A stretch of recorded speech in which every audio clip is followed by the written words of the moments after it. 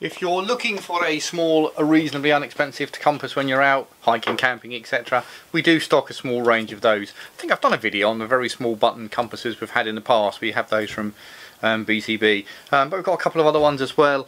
Um, these little ones, we do sell these with a strap, often without, that will simply fit onto a small strap.